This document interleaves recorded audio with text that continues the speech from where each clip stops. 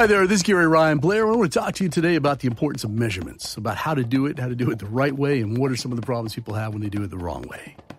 See, this message is important. It's very important, primarily because of the consequences of measuring the wrong things. See, measurements and scorekeeping is a universal language that's applied in a myriad of ways. See, we keep score of sporting events as well as individual player statistics.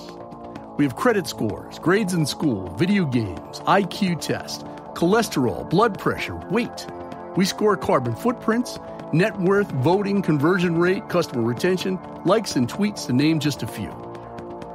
See, as consumers, we score the books we read, the websites we visit, the hotels we sleep at, the restaurants where we dine to include service and food quality, the television, movies, and performances we watch, as well as the music that we listen to.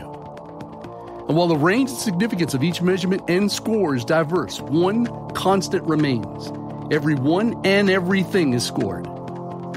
See, my biggest concern when it comes to this subject is simply this Are people measuring and scoring the right things? Are they doing it at the right time? And are they doing it for the right reasons?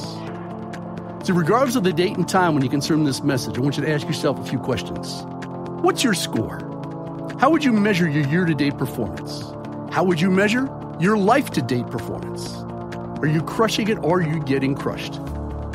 These questions are important for one simple reason only results matter.